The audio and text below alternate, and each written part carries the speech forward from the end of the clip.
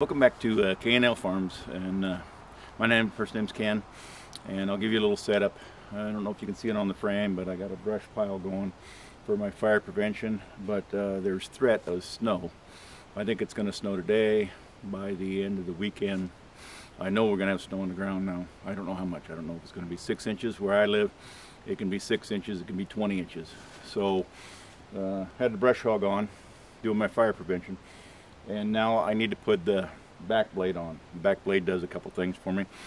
I need a 6x6 for the homestead cabin off of the sawmill and it puts counterweight and it also makes the tractor more stable. So here in a minute I'll shift you around and show you me putting this back blade on. I don't know if you've seen it before but I thought it would be interested to the people, interesting to the people that haven't seen it before.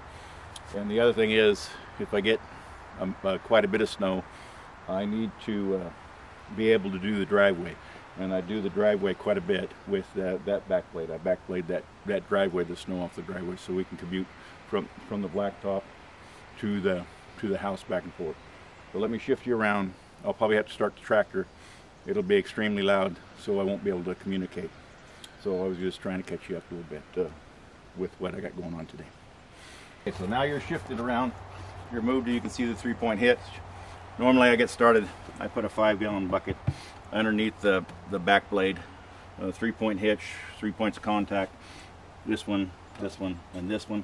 I normally put this one in first because it's generally the easiest and it gives me some physical control of the back blade. And see, now I'm gonna have to pick it up a little bit in order to get that pin in. Okay. I start out like that. I'll put that in.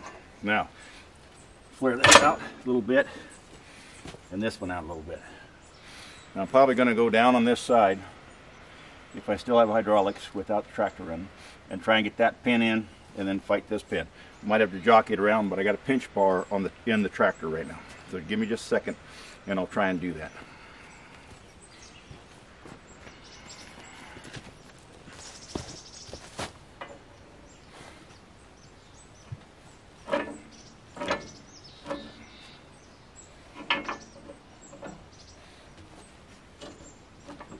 Okay. Now I'll get the hammer. Put my glasses on. Okay. Now try and tap that on there a little bit. Like that. I'll illustrate. Remember I said on the last one of the last videos I lost this keeper pin. Put that keeper pin on that side. Now, this is generally the hard one.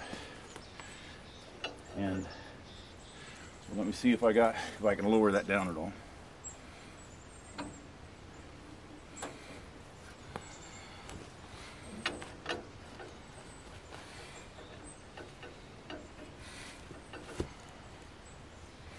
The other keeper pins in inside. Now my tractor doesn't have a toolbox on the side. A lot of tractors do. Mine doesn't.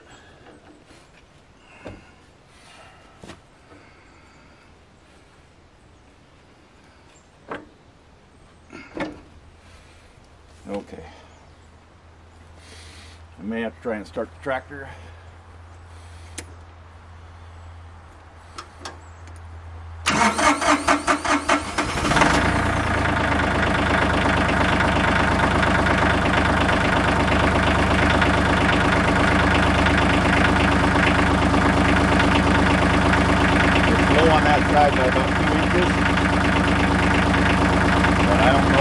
Horsepower left to pick that up.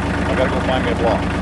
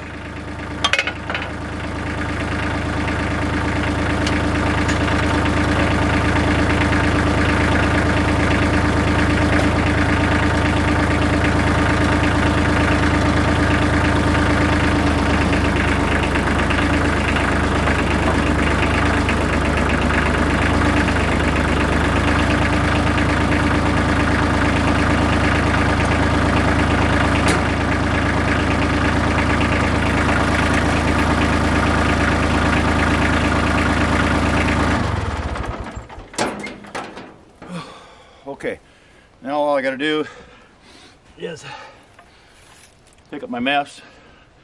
There's a trailer directly behind the camera. Utility trailer. Stack my stuff up. Get the tractor started back up. Go get the forks. Put the forks on the tractor. Then I can go the next video the next video will be uh, on the sawmill. I need a 6x6, I think I already explained that, for the uh, for the uh, off-grid cabin. But I need to go stoke the fire, and I can't go to the sawmill because I need to take I have need to have physical control of that fire. My fire prevention prevention equipment's in the back of the truck, so I'll probably end this video clean up my stuff. And then tomorrow's video, no, I'm sorry, it won't be tomorrow. The next video you see will be, uh, in fact, probably the sawmill. Me cutting another one. But uh, thanks again for watching and have a good day.